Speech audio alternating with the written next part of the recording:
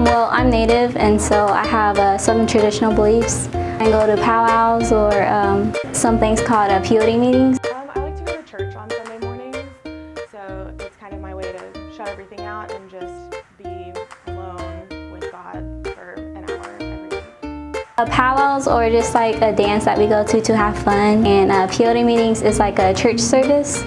So we go in, stay up the whole night and just pray about stuff that we're having hard times with.